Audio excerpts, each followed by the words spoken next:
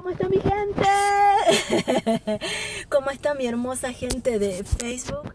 Eh, yo quiero darle un especial agradecimiento a todos ustedes por todos los saludos que me dieron para el cumpleaños, todos los mensajes que tuve en inbox, eh, todos los mensajitos de texto, aparte todos los, los, comentarios y las fotos hermosas que editaron y subieron.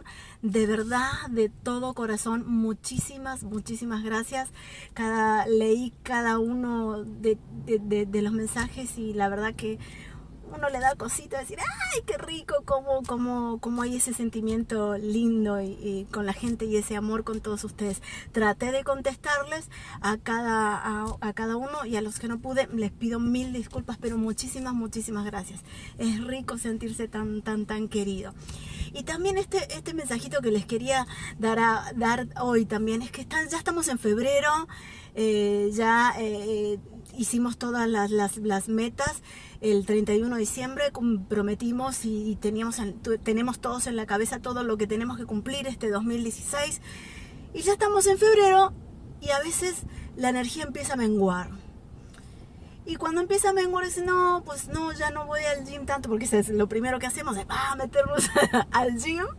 Entonces ya la energía empieza a bajar, uno ya no empieza a ir tanto al gym y ya como que todo empieza a menguar, a bajar. Es, eso es algo muy, muy natural. Y porque algunos, a veces yo le pregunto a, la gente o amigos y que me dicen que tienen un sueño, que han tenido una meta y que ya se les fue el avión, que ya se les pasó el tren. Y yo me quedo, ¿what? ¿Cómo que ya se te pasó el tren? Sí, eso yo ya lo tendría que haber hecho cuando tenía 20, lo tendría que haber hecho cuando tenía 25. Y yo digo, ahí está el primer error. Ahí está el primeritito error que cometemos prácticamente todos el decir que el tiempo ya se nos pasó.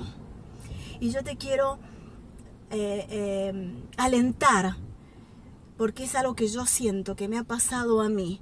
Primero que los tiempos de Dios siempre son perfectos, las cosas pasan cuando tienen que pasar. Y si no las pudiste terminar antes o concluir antes, es porque no era el momento. Y si era porque no le pusiste las suficientes ganas, es porque no estabas maduro para poderle, ponerle esas suficientes ganas. Y tuvo que pasar el tiempo y tuviste que vivir muchísimas cosas para ahora estar asentado y tener esa madurez mental y espiritual para llevarlo a cabo. Así que no me digas que porque tenés 40 o porque tenés 50, si tenés 40, tenés 40 años más todavía para hacer las cosas. Si tenés 50, a lo mejor tenés 30 años más todavía para hacer las cosas. Así que te invito a que sigas con ese furor, con esas ganas, con ese sueño, porque nunca es tarde para cumplirnos, para cumplirlo. No me vengas con la excusa de la edad. Eso no es, porque ahora te estoy segura que lo vas a lograr. Si te lo propones, proponete terminar lo que empezaste. Proponete terminar lo que empezaste. Y yo sé que lo vas a lograr. A lo mejor no con los resultados que vos querías a los 20, pero vas a tener una satisfacción tan grande decir, por lo menos lo intenté. Ahí no quedó.